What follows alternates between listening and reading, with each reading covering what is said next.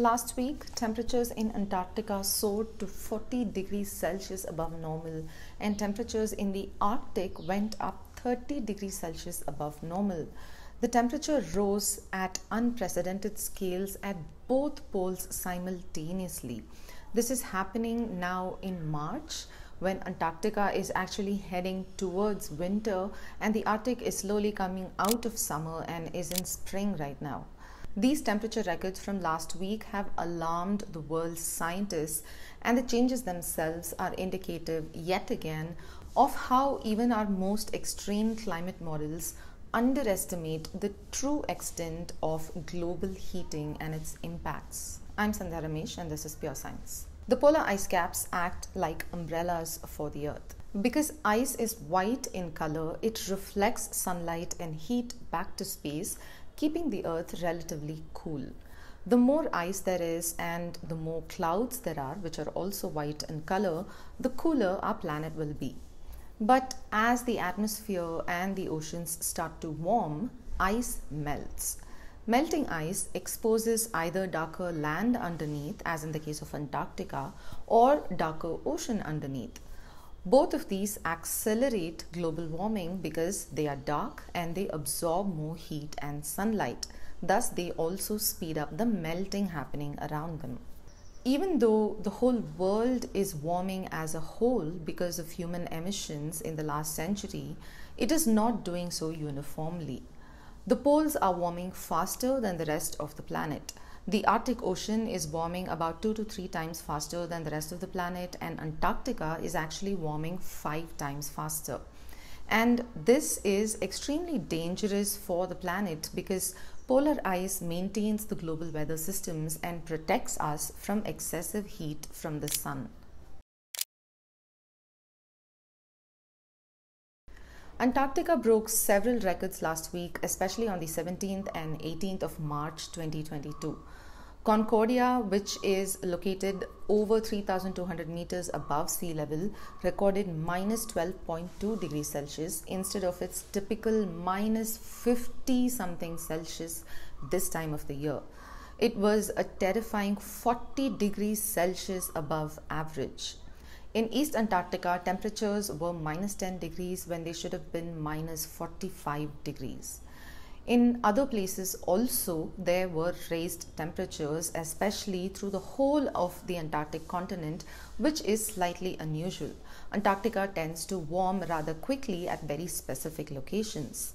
Vostok is a Russian research base and has historically recorded the coldest temperatures on the planet.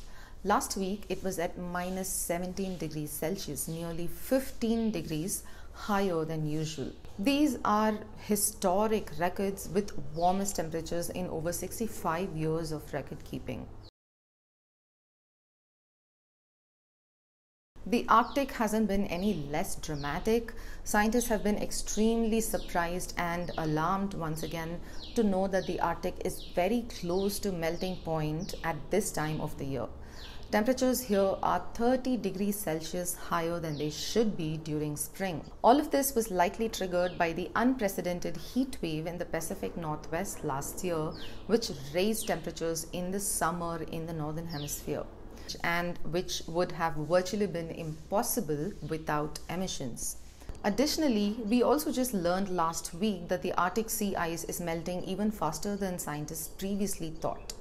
In just the last three years, between 2018 and 2021, the ice thickness has reduced by five feet. In 2021, it was one and a half feet thinner than it was in 2019. The whole of Arctic Ocean lost one third of its entire ice volume in the past 18 years. Scientists now think that we have been overestimating the thickness of ice by nearly 20 percent. Climatologists and weather experts are now saying that with this bizarre, highly alarming, unprecedented observation of both poles melting simultaneously, we're entering a new phase of unpredictable climate change all around us every year. The poles are at the opposite ends of the planet and their seasons are, well, polar opposites. When ice melts in the Arctic, it accumulates and grows in the Antarctic and vice versa. Currently, the weather being seen in Antarctica is closer to what it should be in January than in March. Right now, there should be much more ice, and the temperatures should have been steadily getting much, much lower. In February of this year, Antarctica also set the record for its lowest ever ice, going back all the way to 1979. What possibly happened was a phenomenon called an atmospheric river, a stream of warm air that brought in heat and moisture from the Pacific to the South Pole. Each year, with more and more extreme and unpredictable climate disasters on a planetary level, we realize that all of our models are actually much more conservative than reality, even when we think that they are an extreme case scenario. The distinct layer of warm air above the ground and the rapid warming of the oceans are affecting regular weather processes and large scale climate processes on a daily basis. As we see our everyday weather change year by year, we're also going to see more and more unimaginably extreme climate scenarios on the regular.